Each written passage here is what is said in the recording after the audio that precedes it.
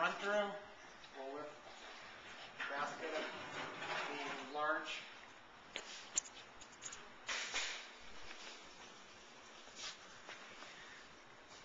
Okay, this is one of the larger valves, and you can see just a small speck of carbon right here. The rest of it's clean.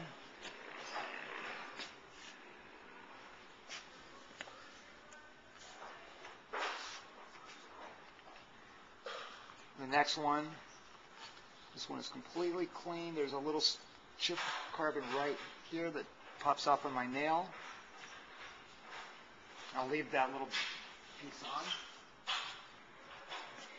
And the last of the valves has a little bit of carbon left. Uh, there's a piece here.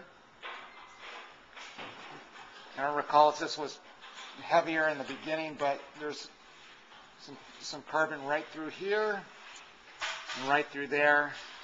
Again, fairly soft. We could run another cycle, we'll certainly take it off.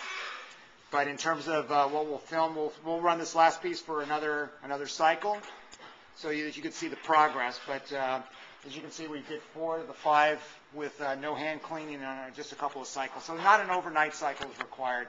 Maybe uh, initially go with a three-hour cycle on these, and that should be, do the trick.